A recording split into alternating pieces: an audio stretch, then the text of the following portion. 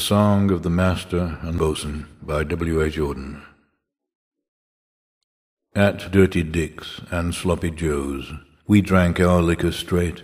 Some went upstairs with Marjorie, and some, alas, with Kate. And two by two, like cat and mouse, the homeless played at keeping house. There wealthy Meg, the sailor's friend, and Marion, cow-eyed, opened their arms to me, but I refused to step inside. I was not looking for a cage in which to mope in my old age. The nightingales are sobbing in the orchards of our mothers, and hearts that we broke long ago have long been breaking others. Tears around, the sea is deep, roll them overboard and sleep.